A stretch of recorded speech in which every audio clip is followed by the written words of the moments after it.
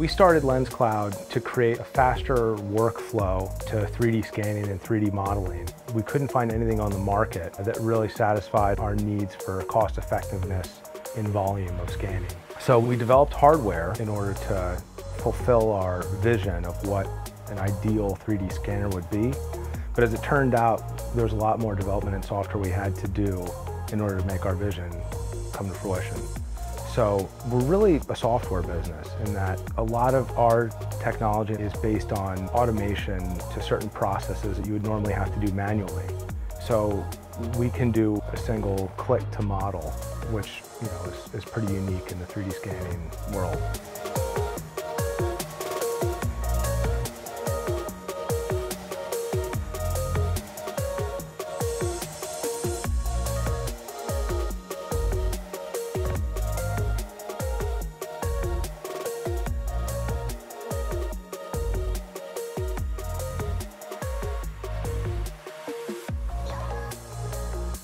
This current version of our scanner is 20 towers, 120 sensors, six projectors.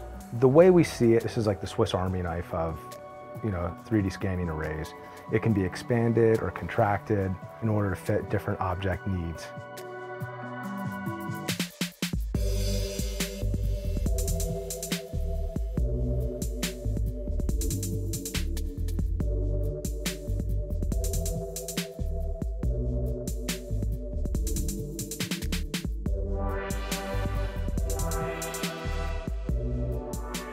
A lot of artists are utilizing our technology to create 3D models for AR and VR projects, as well as uh, CNC milling and 3D printing. There's this whole world of 3D spaces that are emerging, whether it is AR, which inhabits our own world, or VR, which is a completely new world. We want to make it easier for creators to make objects for their creative environments. Because right now, it's like you have to go to like, you know, these online digital malls and buy things that might not fit your needs. So I think it's pretty interesting to be able to go to us and actually create what you need from a real life object.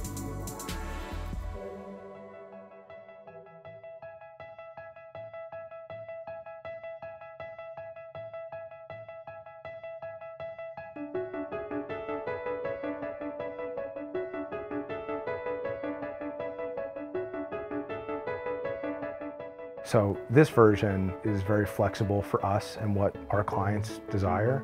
But you know, we definitely are working on a smaller version of a scanner for more handheld objects. And as other technologies evolve, it actually really influences our field. So the better optics that are created, actually that improves the quality of our scanner.